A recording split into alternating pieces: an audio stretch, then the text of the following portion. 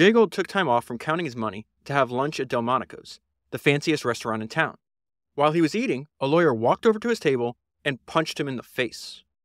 A series of spectacular financial triumphs had made Gould fabulously rich. Now, at age 36, he was the most notorious businessman in the country. Like others who tried to claw back money from Gould, the lawyer was getting nowhere in court. The laws were too weak, enforcement too lax, and the judges too crooked. Gould had them in his pocket. This book seeks to explain Jay Gould and his underappreciated and aggressively maligned role in the country's transformative economic expansion of the 19th century. But it's just as much an exploration of Wall Street during its Wild West era, after the Civil War, when, by the rough means on display at Delmonico's, the seeds of our current financial system were planted. Cornelius Vanderbilt, John D. Rockefeller, and Andrew Carnegie are not the focus of this book because they made their money in industry, not in finance. Vanderbilt toiled in steamships and railroads, Rockefeller in oil, and Carnegie in steel. Only the lesser known figure of Jay Gould, as rich as any of them, was foremost a creature of Wall Street. To the extent Jay Gould is remembered, it's for Black Friday, the day he blew up the gold market and paralyzed the financial system. Lawyers swamped him with lawsuits. Prosecutors hit him with subpoenas, and Congress hauled him in for hearings. This was as far as things got. Arrested three times, Jay Gould never spent a day in jail. Frustrated opponents turned to vigilante justice. One victim tossed Gould down a stairwell. Another one pulled a gun on him. His peers were more charitable. Vanderbilt told a newspaper that Gould was the smartest man in America. Rockefeller, when asked who he thought had the best head for business, answered Jay Gould. They recognized Gould as a master of his craft. No one disputed that he was an extraordinary problem solver, an unparalleled negotiator, an expert communicator, a lightning fast thinker, and a masterful tactician with a staggering memory. He complemented his natural endowments with nerves of iron and a work ethic, even as a teenager, so strong that it damaged his health and quite possibly shortened his life. With his mix of brains and single mindedness, he was suited to make the most of the moment. But why does he matter? There's an easy answer. While he made his money on Wall Street, he did as much as anyone through his work with the railroads to build the country. Railroads changed America in the 19th century, much as automobiles changed the country in the 20th century, and the internet has changed the 21st century. And Gould knew how to play the game. That was an excerpt from the absolutely fantastic book that I read this week and the one I'm going to talk to you about today, which is American Rascal How Jay Gould Built Wall Street's Biggest Fortune, and it was written by Greg Steinmetz. Okay, so I got to start by reading the inside flaps of this book, the inside cover of this book, because it's absolutely fantastic. It gives you an absolutely fantastic overview of the life and career of Jay Gould. And this is what it says He was richer than Rockefeller and so bare knuckled that even Wall Street had to start making rules. Had he put his name on a university or a concert hall, he would undoubtedly be a household name today. The son of a poor farmer whose early life was marked by tragedy, Jay Gould saw money as a means to give his family a better life, even if, to do so, he had to pull a fast one on everyone else. After entering Wall Street at the age of 24, he quickly became notorious when, in an attempt to corner the market on gold, he paralyzed the economy and nearly toppled President Ulysses S. Grant. The Black Friday market collapse of 1869 remains among the darkest days in Wall Street history. Through clever financial maneuvers, he gained control over one of every six miles of the country's rapidly expanding network for railroad tracks, coming close to creating the first truly transcon- transcontinental railroad and making himself one of the richest men in America. Just going to interrupt this real quick. He winds up dying from tuberculosis at 52 years old. I think it's six kids he was so rich. So I use this calculator that's available online that'll that'll try to tell you the value of a dollar in the past in like today's terms. It only goes back to I think 1913. Jay died 21 years earlier in uh, 1892. When he died, he left his firstborn son 15 million dollars, and ev- all the rest of his kids, I think the five other kids, 10 million dollars. Having 15 million dollars back in 1913, so the value would be even more in 1892. It'd be like giving your firstborn son uh, about a half, almost $500 million, and then giving your other five kids $300 million. Imagine how much more wealth he would likely build if he actually lived to the same age as like a Rockefeller or a Vanderbilt. His illness actually took away maybe another two decades of him constantly building to his wealth. So it's just uh, it's just a staggering amount of money. So back to this, it says it made him one of the richest men in America. This is one of my favorite paragraphs to give you just a description of why we should spend so much time. This is my second podcast on on Jay, and I'll go into more details on that in a minute. But why we should spend so much time just studying just his very unique life and career. So it says American Rascal shows the complex and quirky character of the 19th century's greatest robber baron. He was at once praised for his brilliance by Rockefeller and Vanderbilt and condemned for forever destroying the American business values by Mark Twain. He lived a colorful life, trading jokes with Thomas Edison, figuring in Thomas Nast's best sketches, paying Boss, Boss Tweed's bail, and commuting to work in a 200 foot yacht. He thrived in an expanding industrial economy in which authorities tolerated inside trader and stock price manipulation because they believed regulation would stifle progress. But by taking these practices to new levels, he showed that unbridled capitalism was in fact dangerous for the American economy. This eye-opening history explores how Gould's audacious exploration or exploitation, excuse me, of economic freedom triggered the first public demands for financial reform, a call that still resonates today.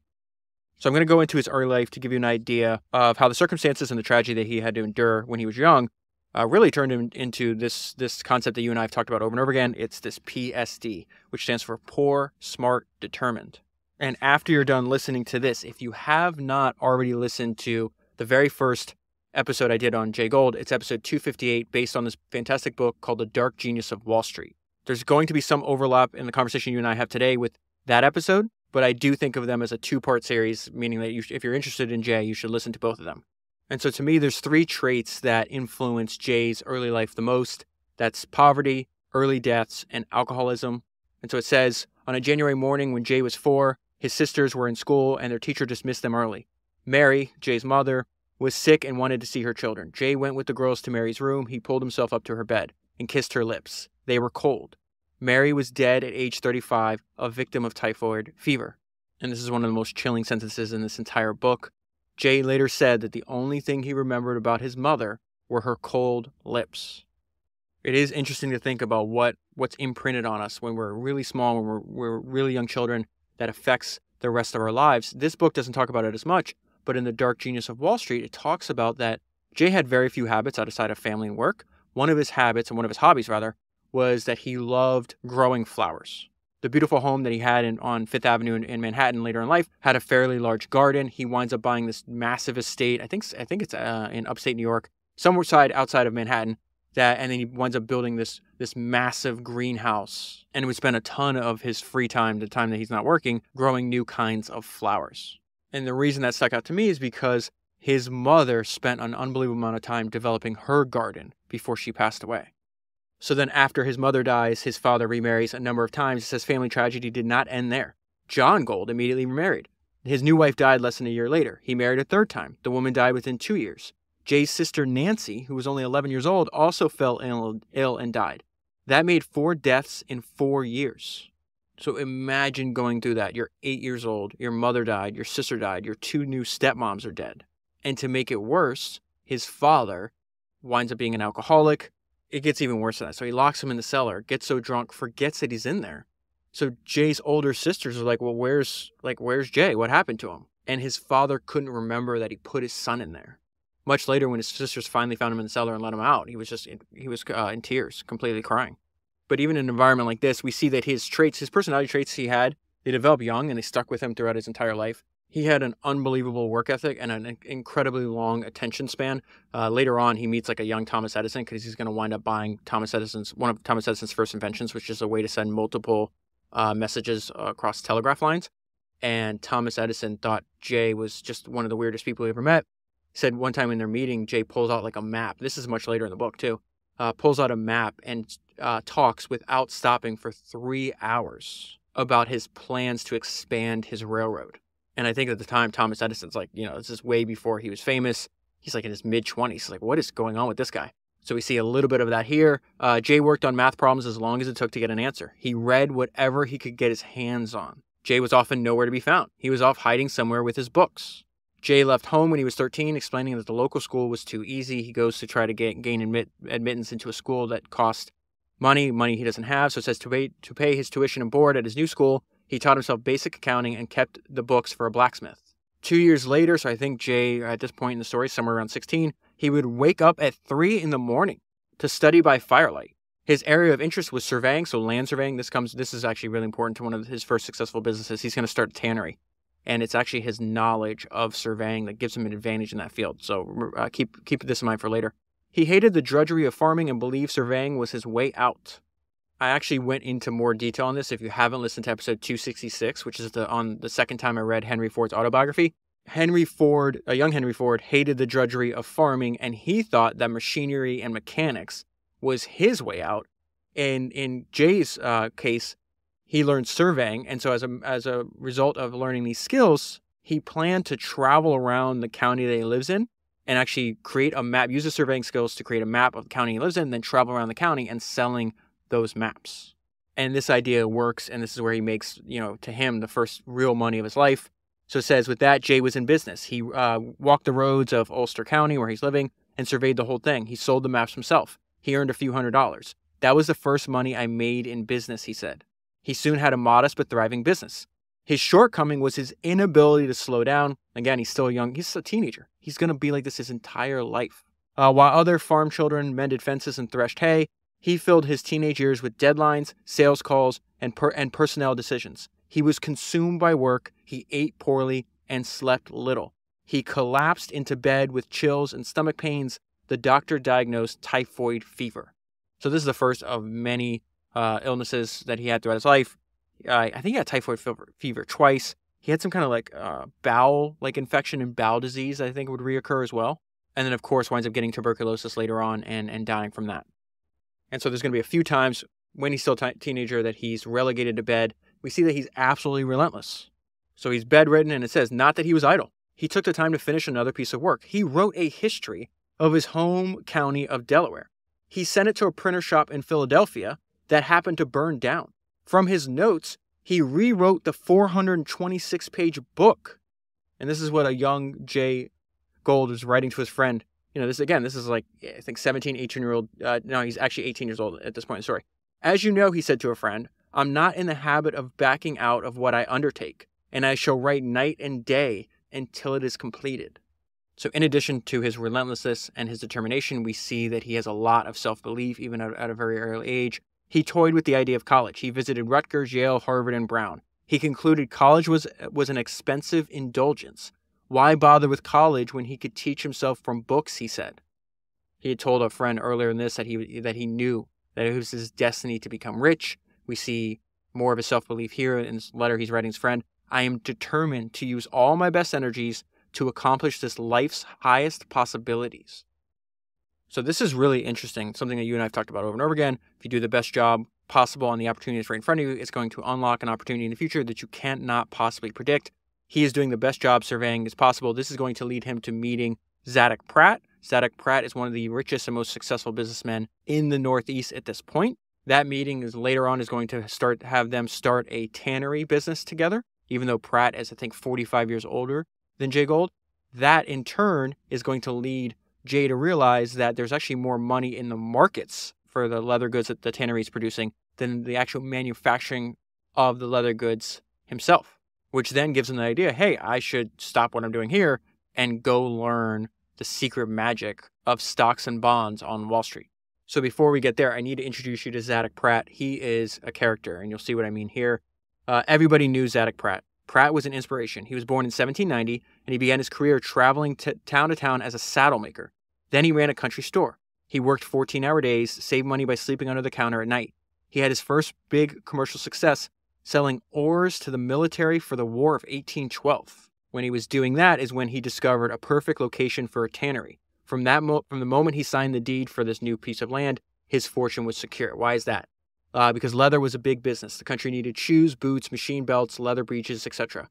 And this part of the country where Zadock sets up shop, he winds up owning like, I don't know, 35, 40 of these tanneries. So he makes a lot of money doing this. But uh, he had an advantage. He was in the right place at the right uh, time with the right set of skills.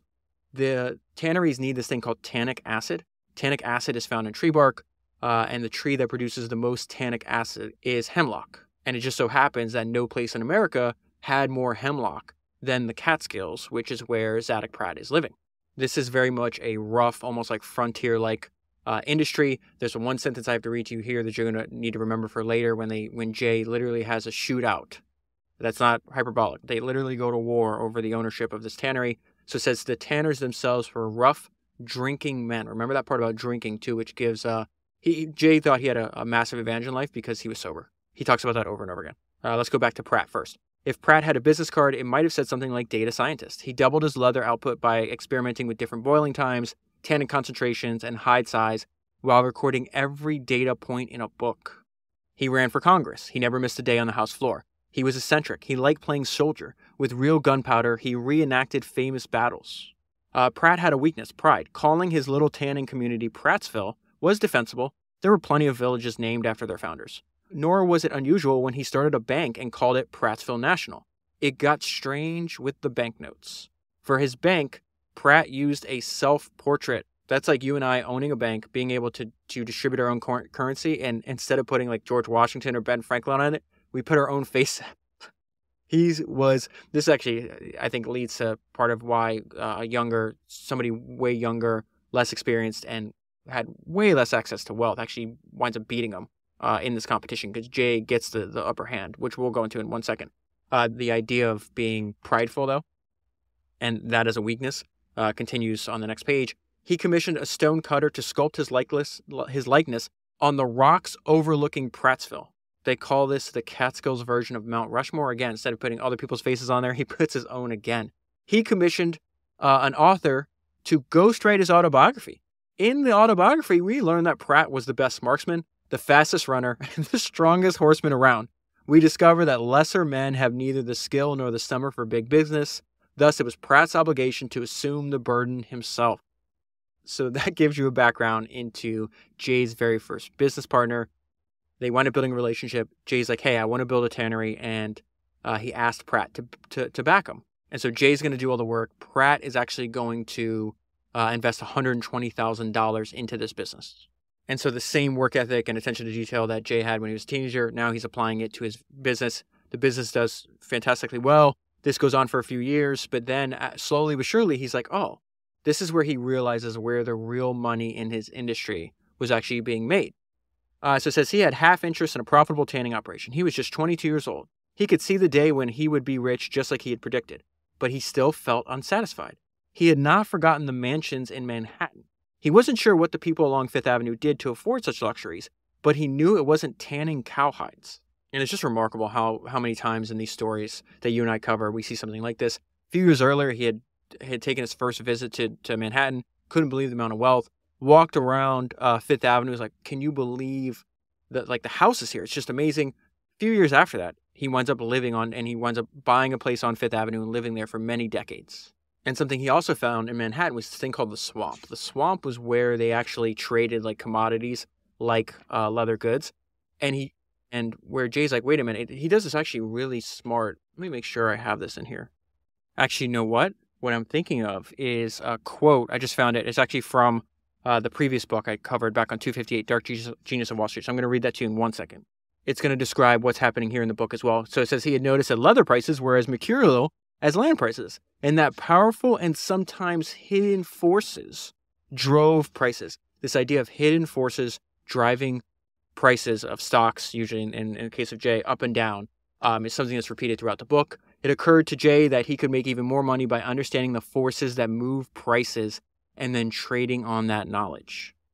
He had taught himself bookkeeping, he had taught himself surveying. Now he would teach him everything about leather, about how leather was bought and sold. And so that's when he starts spending more time down in the swamp. He's going to wind up meeting people that, that become really important to him buying out uh, Pratt later on. But I just want to go over why he why he found this appealing, right? You always I'm always curious, like, okay, why did you choose that career over something else? And he said, what a place he thought. No crews to supervise, no steaming vats of boiling hides, no broken, broken steam engines, engines, no odor so vile that it made the eyes water. The swamp was money making distilled to its essence. That's how he's going to think about Wall Street. In the swamp, the value came not from making things, but by making decisions. Brains and information won the day. This was the place for him. And so around this time, he writes his father a letter about what he's learning. Remember, he's away from home. And so this is actually from the dark, an excerpt from the Dark Genius of Wall Street. And the note I left myself when I read it the first time uh, that I think will explain this this why this paragraph is so important. It says, "Good question to ask yourself: Who would you rather be?" And so Jay says, "I've come to realize that it is the merchants who command the true power in this industry." He means the people on the swamp, not the manufacturers. The tanner appears to take the greatest share of capital, but merely processes that capital, his expenses being extensive. He's describing where he's at right now. That's exactly what he's doing. He's the tanner. I'm bringing a lot of revenue, but I got a ton of expenses. His risks are real and his labor heavy. He's got to manage a lot more people. The shippers deal with the next largest sums, but again, they have extensive expenses and much work to do. The brokers, meanwhile, take what seems the smallest share, but is in fact the largest. Theirs is nearly pure profit made on the backs of the shipper and the tanner, never their hands dirtied. So he's like, oh, I'm on the wrong side of this transaction. I would much rather be, instead of being the tanner myself, I want to be the brokers. And then he's going to take that idea and extend. He's like, okay, well, I'm not just going to trade leather. Like, let me go learn about stocks and bonds. That, that market is way larger than this one. So there is an entire crazy story about the shootout that happens after him and Pratt break up and Jay has a falling out with his new partners and they literally have to like shoot around it. I'm going to pull out like one I'm not going to like I covered it way more detail in episode 258, but there is an idea behind it that I think is really uh, valuable for you and I to discuss. But before I get there, this is so I'm in trouble right now. Sometimes this happens from time to time when I find a new book and I cannot stop reading it. And I cannot put it down. Um, my friend Eric Jorgenson, who wrote the Almanack of Naval, which I think I covered on episode 191, that book is absolutely excellent. There's a ton of ideas in that book that I'm using as I build founders. But anyways, I discovered this new book. I thought I had, I had like a good idea of all the books on Charlie Munger and Warren Buffett uh, I discovered a new book from my friend Eric about this, and it says it's called "All I Want to Know Is Where I'm Going to Die, So I'll Never Go There." Buffett and Munger: A Study in Simplicity and Uncommon Common Sense.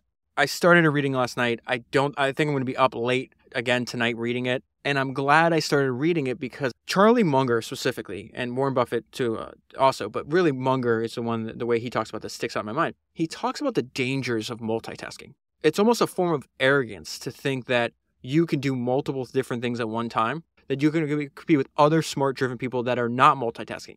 So, what does this mean? There's about to be this giant fight between two partners, right? You have on one side Jay Gould, 40 years younger, way less experience, way less money than Zadock Pratt. But while Zadock Pratt is, you know, partially retired from business, he's got a million different business things to think about. He's doing these battles in the field. He's got kids. He's got family. He's got all these other interests. He's got his bank.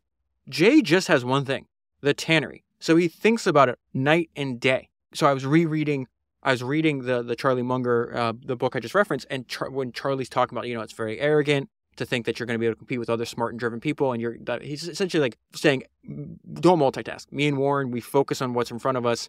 We're not trying to do 50 different things at one time. And he feels like this next generation that's like oh, multitasking constantly is just going to have way less, uh, way worse results than him and Warren did.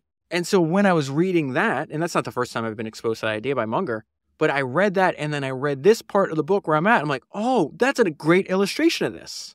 Jay should not have won this battle with a much more experienced and successful entrepreneur, but that entrepreneur is distracted. Jay's only thinking about this. So again, I think focus and extreme, extreme focus is a superpower that is, in my opinion, almost going extinct in our modern world.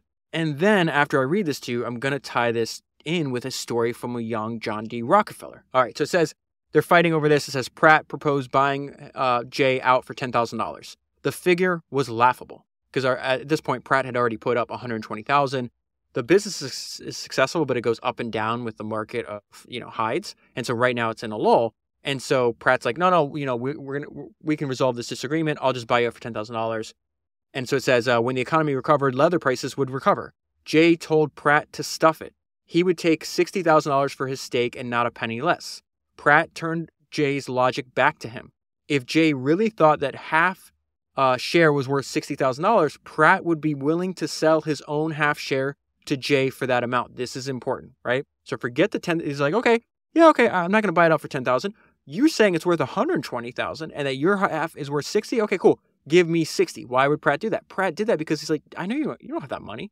Like, I'm going to be able to buy you out for 60. You can't buy me out for 60. This is going to relate to the exact same thing. It's spooky how there's so many uh, similar experiences. Wait till I, I read you this part about Rockefeller in a minute from a different book.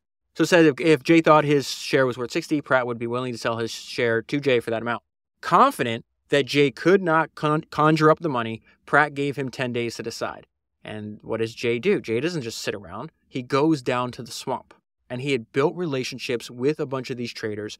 These people have a ton of money. And he goes, Hey, we have an op- you have an opportunity. You know the value of hides, right? We have an opportunity to to buy out our partner for sixty thousand dollars. And so he winds up doing this deal with Leupp, this guy named Charles Leupp. He's going to wind up going psychotic. He would like see visions. He'd be having dinner and think there's like elephants in the room, and he winds up unfortunately shooting himself right in front of his daughter.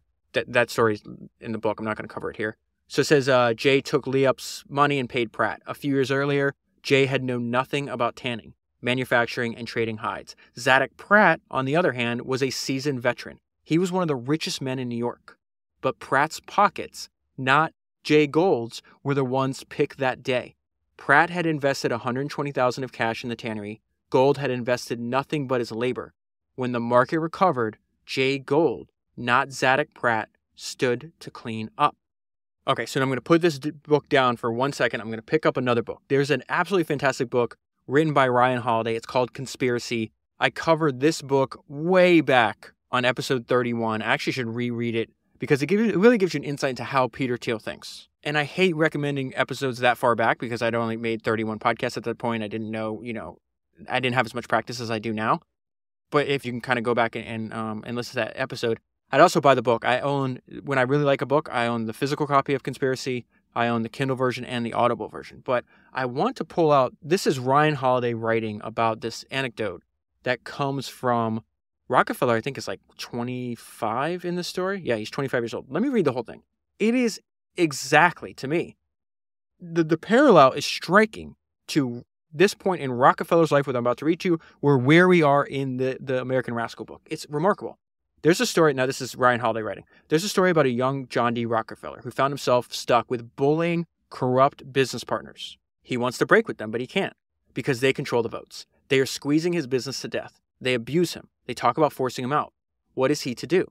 Quietly, Rockefeller lines up financing from another oil man and waits.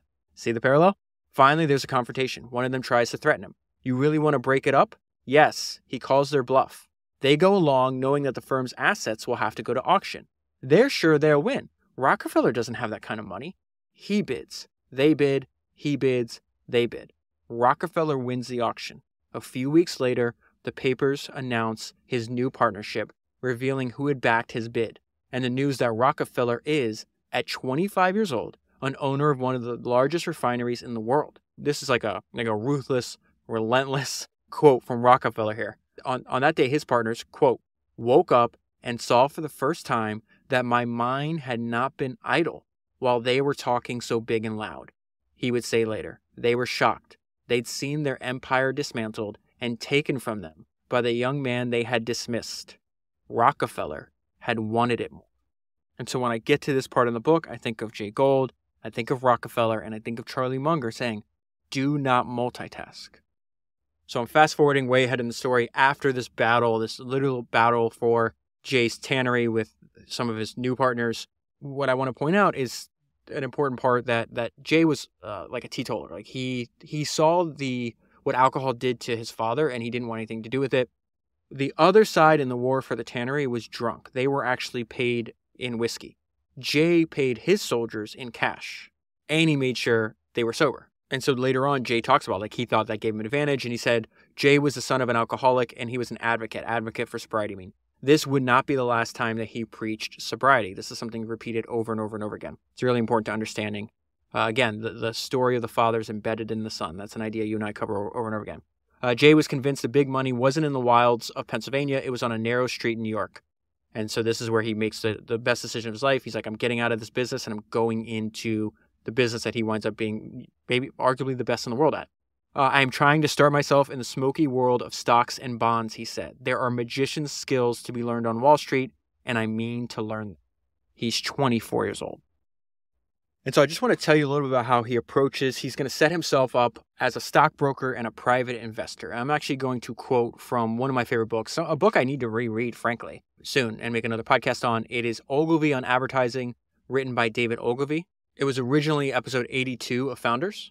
And if you haven't studied up on Ogilvy, I recommend you do. Um, I actually discovered him because Warren Buffett uh, calls Ogilvy multiple times, I think, in his in uh, Buffett shareholder letters. He said David Ogilvy was a genius. And so that line was my first introduction to Ogilvy, and then I try to read every book on him. But Ogilvy has this thing that he he would repeat throughout his career, and he says the good ones know more. And I think Buffett would agree with that because when you know people would say, "Hey, Buffett, like, how do I become like you?" He's like, "Read 500 pages a day."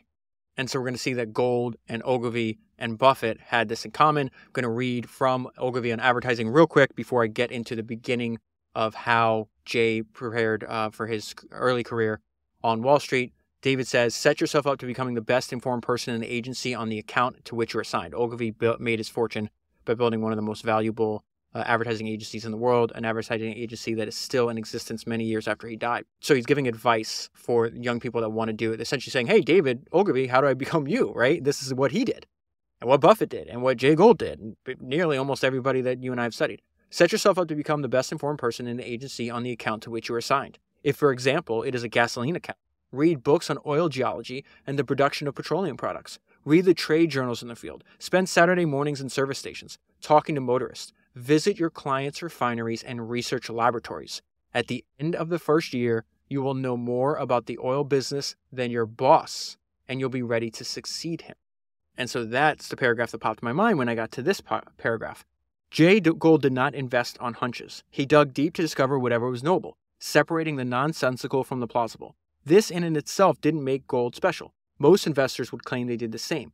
The difference was Gould's diligence. He was more methodical, more voracious in search of insights, and more patient with minutia. These qualities served him well in the in the hard labor of surveying and tanning. They served him better in the brain labor of Wall Street. And so one of his first big breaks comes a few years later. He's going to be 28 years old when he gets out of this investment. He realizes that um, the the book started talking about you know railroads so as just as important as the internet is today or automobiles were in the century previous and so he's going to make obviously a lot of money in building up and also trading on railroads he realizes there's this like small little rutland and washington rail line and they had one way to make money and they, they would haul, haul stone from quarries in vermont and so the volume of stones taken out of the quarry thus needing to be transported on railroads went down it would like really drop the price of the railroad bonds. And if you bought the bonds when they were cheap, you can convert it to stock. And if you convert enough stock, you can actually take control of the railroad. That's exactly what Jay did. And then he decides, hey, um, I'm going to control it and then I'll just run it. And so he actually makes himself president of this railroad. Jay's a weird um, person to kind of classify because, in some degree, he was an operator, but he was also an investor, and he would go back and forth between those two and sometimes do them, uh, those different jobs at the same time. And this is a perfect example of that because he starts out as an investor. He's like, oh no, I'll, I'll, just operate it. And so then he spends a long time uh, away from his family. He's constantly traveling. He'd just come back to New York, I think, on the weekends. And he starts building this up, trying to increase the value through his labor. And then he's eventually going to sell and have like the first big hit of his life. So it says he invested in, in his railroad track. He cut costs and pitch and pitched customers on the railroad services. He also pinched pennies. And so he does this for 18 months, but he realizes, hey, uh, there's an opportunity cost here there is a, a ceiling on how valuable this railroad could be. So I need to get out now and find a better opportunity. This is eventually going to lead him to going to war with Cornelius Vanderbilt. So it says uh, the Rutland in Washington had western Vermont to itself. Once it reached New York, it ran into a challenge that Gould battled the rest of his career too many railroads and not enough freight. That convinced him that this railroad was not a keeper. 18 months after buying it, he got out earning a bundle. His $5,000 investment, an investment that others on Wall Street thought was a loser, brought him $100,000, which would be equal to $2.5 million in today's dollars. And he is 28 years old. And so for the rest of his life, he's going to have other businesses. He's going to do a million trades. Uh, he's going to get involved in telegraph industry, but the rest of his life, he thought railroads was the the greatest outlet for his what he re- realized was like he, he had essentially un, uncontrollable ambition or like basically un, there's no limit to his ambition so he winds up realizing that you know he's got this this burning desire, this drive inside of him. So he winds up writing a letter to his friend, where he comes to turn turn where it says he confronts his ambition and his drive to succeed. And he says, "Now that I'm in this place, it is a puzzlement to me how I endured before. Everything prior seems to have been boxing in the dark, scrapping without reason. Now I have my railroad, or excuse me, now I have my road to walk and my reason for walking it. Now the pieces fit, and this thing, ambition, is no longer blind but divine, a true and noble and necessary path. I see things very, very clearly. I feel inspired with an artist's conception. Divine inspiration, I cannot say, but my road is laid out before me in the plainest of ways. And so at 28, he does not know that he only has 24 years left, that he's going to die at 52, but he does know that he's found his life's work, the one that he's going to dedicate almost every waking hour to from now until he dies. I do want to touch on aspects outside of his uh, work just real quick. His hobbies were essentially family. He spent a lot of time at home. He, him and his wife were a homebody. Spent a lot of time with uh, his kids when he wasn't working. I obviously told you about it. he had a love for flowers and then reading. And I think the book goes later on into like his, he stuck to a pretty strict schedule uh, every day. So it says he and Ellie, his wife, preferred simplicity and domestic pleasures. They were not social. Jay stuck to business and minimized his interactions outside the office. Around this time, his father dies, and this is what he says his hard drinking father, John, died. Jay rarely spoke about his father. Maybe it was out of anger over the alcoholism or the childhood punishments, uh, including being locked in the cellar, which I told you about earlier. When asked about his father, Jay fell back on trite expressions as if to say more would prove overwhelming. He would say he walked a hard road, he drank from a bitter cup.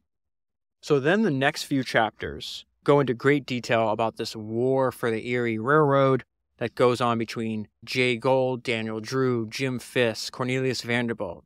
It is unbelievably complex. I think most people still don't understand it to this day, but this one sentence, I think, really highlights why Jay was unusual. It says this this story, meaning the the, the war for the Erie Railroad, uh, the story of how Jay seized Erie shows his brilliance as a financial strategist, his deep understanding of law, a surprising grasp of human nature, and a mastery of political reality. And so the one thing that jumps out when now I've read about this multiple times, I still don't understand it completely. But the lesson I take away from it, more important than the actual like tactics they used, was that if he had a goal in mind, which in his case is I need to control the Erie Railroad, like Rockefeller before him, or I guess at the same time because they were operating at the same time, there would be he wouldn't just attack it from one angle. It's almost like they look at the problems and what they're trying to do from like 360 degrees, and they're just relentless by poking any kind of weakness that they feel will get them what they want. And so even though I can't really understand everything that he does, I think the value I get from understanding is like, oh, he the way I think about the uh, the goals I want to accomplish and the problems I want to solve it's unbelievably pedestrian compared to the way Jay or Rockefeller approached their own goals. And so what I hope to do is learn from their examples, like whatever goal you have, spend an unbelievable amount of time analyzing all the different ways, the, the possible ways that you can actually achieve what and, and make a reality what you want to make real. And so what's happening, there's a bunch of board members and they're all fighting against each other for control. Cornelius Vanderbilt, eh, his idea is like, hey, I'm just going to buy up. He he does uh he bribes a judge to make sure that they cannot issue more stocks. And so Vanderbilt thinks that the share count is fixed as a result of this injunction. So he's just buying up more and more. When they mentioned that that Jay had a deep understanding of law and a mastery of political reality, one of the reasons they said is because his close reading of the law realizes that this injunction only stops the board, the Erie board, from issuing more stock, but it doesn't stop the Erie executive committee from issuing more stock. And so I want to read this part to you and I just want to really pull out like how confident Jay was in his ability. At this point, he's in uh, he's in his 30s, has a little bit of money, but he's literally going up against intentionally the richest and most well-known and successful businessman of his day in, in Vanderbilt. Vanderbilt's you know 30, what 40 years older maybe. And so says uh, Jay noticed that Barnard's injunction, injunction, that's the judge that Vanderbilt paid off, uh, against new share issuance, uh, enjoining the Erie board and only the board. What if another entity, say Erie's executive committee, issued the stock instead of the board? Jay's lawyers liked the idea and they followed up by finding a judge who signed an order ex- expressly empowering the executive committee to issue shares. Why is that important? Vanderbilt believed that the share count was was fixed, so he kept buying. And Vanderbilt didn't know that the stocks he's buying were issued by his enemies, right? The other people on the board. And so that money went they wind up taking him for like $7 million that goes on for a lot. Remember, this is like I'm telling you stuff that happens over multiple chapters. Vanderbilt became suspicious when he noticed that his buying wasn't affecting the share price. The prices should have skyrocketed. Then it hit him. Erie had thumbed its nose at the judge's order and issued more shares. Vanderbilt stopped buying. If the supplies of shares was infinite, there was no point. So Jay Gould, Jim Fisk, and Daniel Drew, they're over. They're, they couldn't believe this. Like this is amazing. They don't realize that Vanderbilt always has a countermove. The executive committee had reason to celebrate. They had just tricked America's richest man into giving the Treasury $7 million. As they toasted, a messenger came with news. Judge Barnard had cited them for contempt. The sheriff was on his way to Erie headquarters to put them in handcuffs. And so this is when Jay and his partners have to actually escape. It was hilarious at the time. Like if you had to be on the lam from New York authorities, you could just go to New Jersey and there was no extradition requirement between the two states. I go over this entire story in uh, episode 258, The Dark Genius of Wall Street. But there's like this standoff between both sides, between Vanderbilt and Jay. And they go to Albany that like there's so many, there's like a bunch of uh, like the, the state legislature in New York. There's a bunch of like bribe, like open bribery, bribery that occurs on both sides. But eventually Vanderbilt makes them give him back every single dollar. And it was in the interest of Jay and Daniel and Jim to to settle uh, with Vanderbilt because I read this book called Tycoon's War. The subtitle of the book is How Cornelius Vanderbilt Invaded a Country to Overthrow Overthrow America's Most Famous Military Adventure. The story is remarkable. It's unbelievable. It's episode 55. I'm actually going to reread the book soon. But the, the reason that you didn't want to cross Vanderbilt is because he didn't believe in like just using the law. Like he would use that if he had to but he literally would pay if you if you crossed him in business he would try to have you killed. That's that happens in this book where when they were hiding in, in new jersey vanderbilt went and put a bounty on daniel drew's head. So that is not a person that you want to be taking $7 million from. And so then the book spends several chapters going into detail about what jay is most notorious for. He tried to corner unsuccessfully the, uh, the gold market. These actions result in this gigantic financial collapse. And so i go into more detail on episode 258. Again, I think of this as like a two part series, so I don't want to just make the same podcast again. There's more detail in episode 258, but I do want to pull out something that was interesting. Uh, this is after dealing with all the fallout. This is something that was new to me where Jay, like a, a tactic that Jay would use. And so it says the biggest winner was Jay's lawyer. He defended Jay in more than 100 cases. Following Jay's order to stall, his lawyer dragged out the proceedings. It took a decade to clear the docket. There isn't any secret, Jay once said. I avoid bad luck by being patient. Whenever I'm obliged to get into a fight, I always wait and let the other fellow get tired first. And the reason that was interesting to me is because that's a litigation after he tried to corner the gold market. The litigation that took place uh, for his tannery, that where they had that shootout, that lasted like another five, I think five to ten years as well.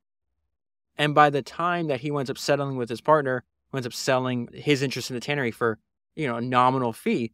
He had 10 years, five to 10 years of wealth accumulation. So by the time that came due, he was already so wealthy that it was just an insignificant amount. And so we see him using the same tactic here, maybe a decade later. He's like, I avoid bad luck by being patient. Whenever I'm obliged to get into a fight, I always wait and let the other fellow get tired first.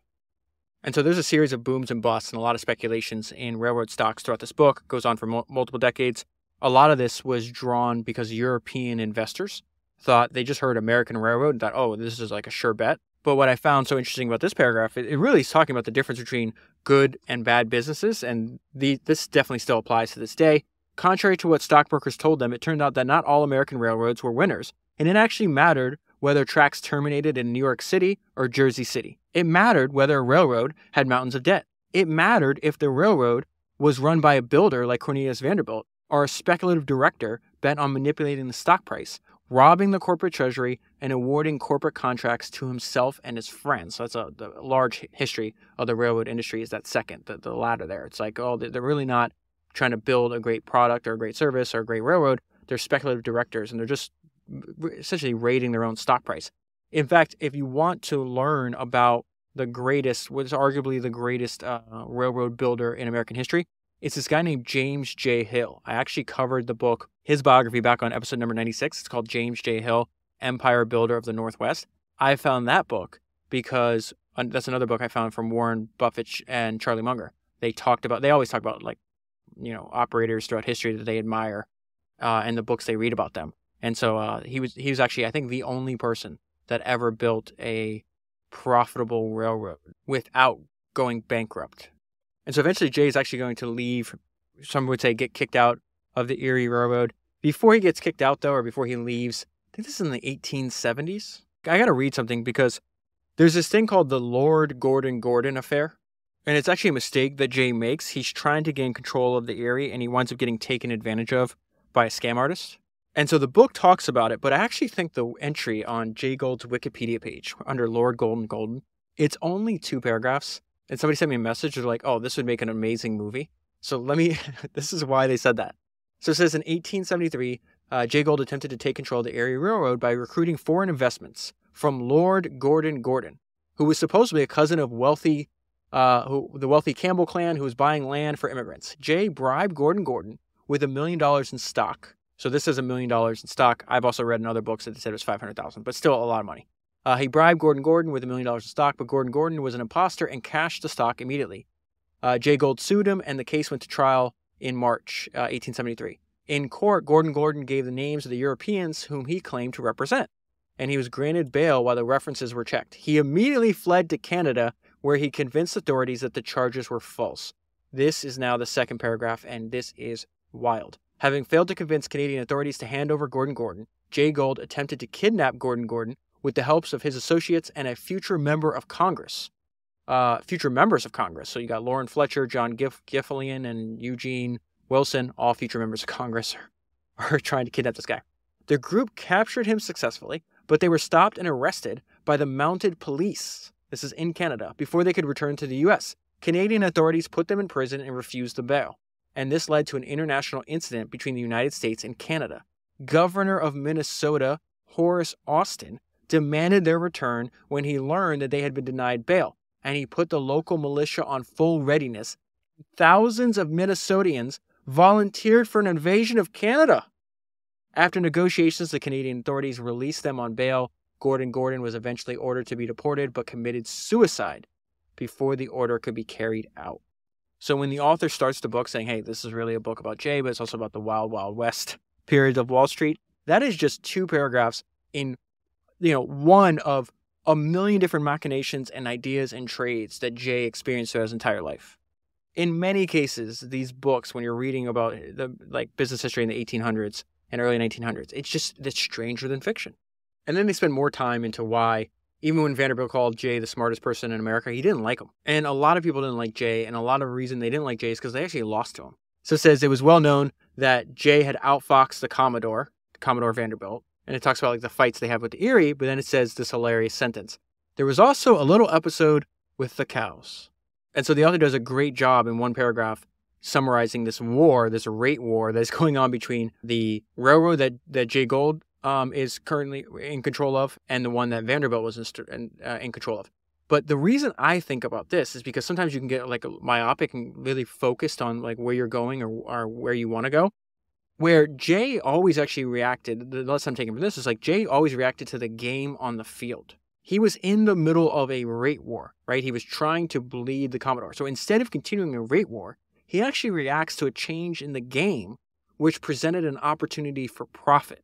And I think to me, because he couldn't have predicted this change, like he, it shows uh, the level of intelligence that he had.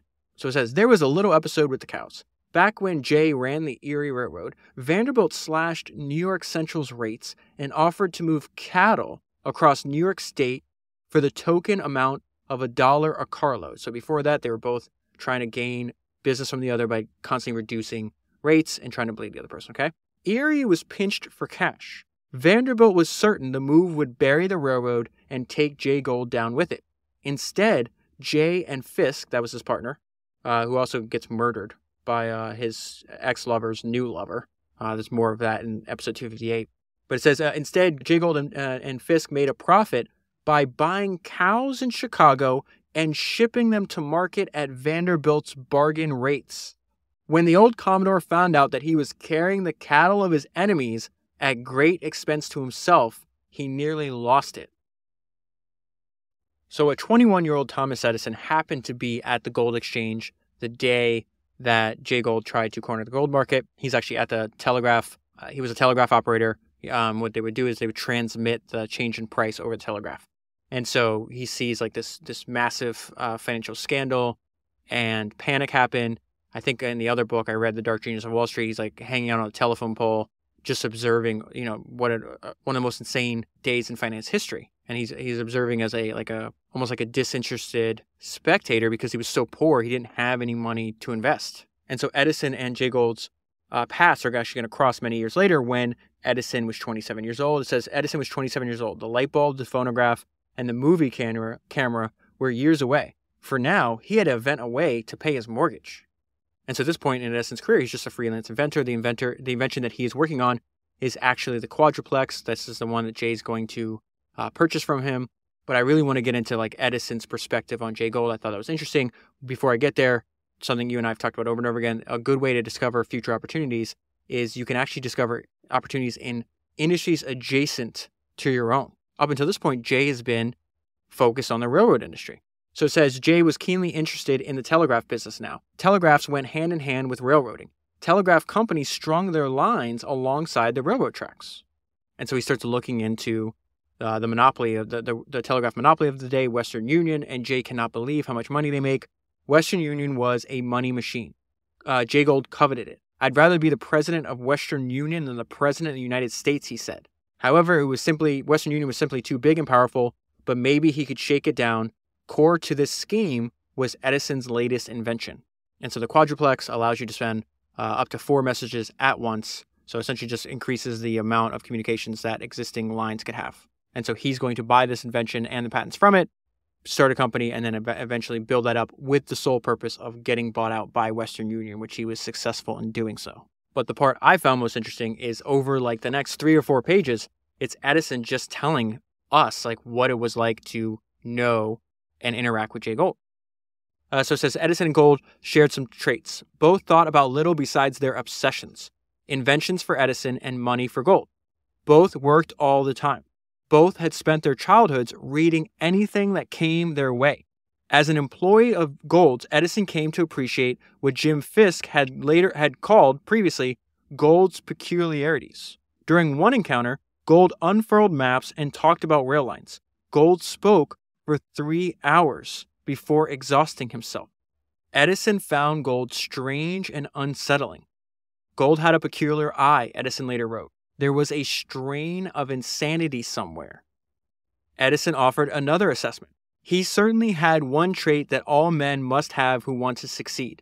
He collected every kind of information and statistics about his schemes and had all the data, Edison said.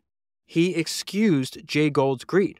This is what Edison said about that. His conscience seemed to be atrophied, but that may be due to the fact that he was contending with men who never had any to be atrophied to begin with. In that other book, The Dark Genius of Wall Street, or it might have been the Thomas Edison biography that I covered on episode 267, he called the wars between the robber barons strange financial warfare. Something else that I found interesting was something that Jay was working on for a long time. In fact, he was still working on it when he died. Was this idea of building and controlling the, the country's first transcontinental railroad. And I thought it was interesting how he compared what he wanted to do with what he saw Rockefeller doing in oil. Uh, Jay Gould was aware of how Rockefeller was using coercion to grab every oil refinery he could. Jay longed to lead a similar process in railroads. He said consolidation will prove both essential and inevitable. What was needed was unchallenged market domination. And in this story, it's just unbelievable how to turn a $500 kidnapping into $500,000. A storm struck New York and disabled Gould's private telegraph. The blackout forced Gould to contract with a messenger service to deliver his trading orders by hand. This is insane. A cabal of crafty traders seized the moment. They grabbed one of the messengers and dressed one of their own to take his place to gather information on Jay's trades. For four days, they saw Jay's every order for Western Union shares. Guessing he was trying to take it over, they bought all the Western Union stock they could and paid the kidnapped messenger $500 to stay in a hotel and keep quiet. The schemers bought Western Union at 80 and sold it at 120, pocketing $500,000. And so then the book talks about how he spent most of his time, his schedule, the last decade of his life, and it said he was a homebody whose routine left no time for diversion. He woke up at 7:30, ate breakfast at 8, wrote letters until 9:30. He had lunch at noon. He ate very little. He drank lots of coffee. He stayed downtown until 4:30 when he came home for dinner to have dinner with his family. After dinner, he headed to the 5th Avenue Hotel to talk markets with stockbrokers who traded there after hours. Then he read in his library until it was time for bed at 11. He spent Sunday in the office as if it were a regular day. When he was at home and needed air, he pruned his flowers. And so he said, I have the disadvantage of not being social. My tastes lie in a different direction. When business hours are over, I go home and spend the remainder of my day with my wife, my children, and my books. Every man has a natural inclination of his own. Mine are domestic. They are not calculated to make me particularly popular on Wall Street, and I cannot help that. And one of the really sad parts about Jay's life is not only he was married for, I think, 24 or 26 years. His wife unfortunately dies. I think she has two strokes, and she dies young, a few years before he dies young. And yet, even though he's in diminished health, he's still chasing after this lifelong dream he had. So it says he declared that he'd combine the Union Pacific Railroad with his other railroads to create the seamless transcon- transcontinental system that had been his dream. When the press asked why, at his age, he'd want to do something so challenging, he said he couldn't help it. The vision of an end to end rail link between the East Coast and California was too beautiful to let go. Although he had once left the Union Pacific out of necessity, he never stopped loving it. There's nothing strange or mysterious about it, he said. I knew it very well when I was a child, and I have merely returned to my first love. I think we will have good times in the future. And unfortunately, his health forbid that. His dreams for the Union Pacific were better suited for a young man than one who knew that his time was up. In his feebled state, it took all his strength to get out of bed. The railroad drifted in the absence of leadership. And so he winds up passing away at 52 years old from tuberculosis and leaving behind his six children.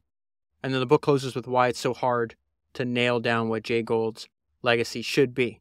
In a 1986 biography, University of Rhode Island professor Maury Klein suggested Gould be judged by his entirety rather than on his business activity alone. His record as an upstanding family man should be figured into the equation. Wharton professor Julius Grodinsky, who in 1957 completed the first serious analysis of Jay Gould, took pains to credit Gould's contributions. His aggressive track building lowered freight rates. His success as a railroad investor attracted speculative capital into a vital industry when other sources fled the field. But after examining every transaction of his career, poring over every scrap of correspondence, considering every accusation of victims, and compiling spreadsheets to measure his investments, Grodinsky couldn't pull the trigger on a definitive judgment about his subject. His conclusion was unsatisfying. He had his virtues, and he had his faults, he wrote. The worst thing about these fellows is that they're so good, and in their work at least, so intelligent, you can't hate them properly. That's the thing about Gould. He lied, he cheated, he stole, but he was so good at what he did, so intelligent in the execution, and such a clean, kind, and industrious family man that try as you might, you can't hate him properly. And that is where I'll leave it. There's so many more stories in the book. Highly recommend reading it. If you buy the book using the link that's in the show notes in your podcast player, you'll be supporting the podcast at the same time. And if you want more founders, highly recommend you signing up for Founders Premium. I'm no longer doing these short daily uh, episodes anymore, but instead I'm doing long form AMA Ask Me Anything questions. So subscribers to Founders Premium actually are able to ask me questions directly, and then I record my answers in these form of these long form AMA episodes. I published my first AMA episode probably about a week ago with answers to questions like, hey, if I could only read five books for my life over and over again, what would they be? Who are the best strategists out of the people that I've read about? Why is the show growing so much? And if I had any insight into growing a podcast, if I'm going to start a new podcast interviewing founders and practice habits. I'm going to be doing two of these a month. I'm going to probably record the new the next one probably tomorrow. So if you're interested in listening to them and then contributing by asking questions, you can subscribe with the link that's in the show notes on your podcast player. It is also available at founderspodcast.com. That is 285 books down, 1,000 to go, and I'll talk to you again soon.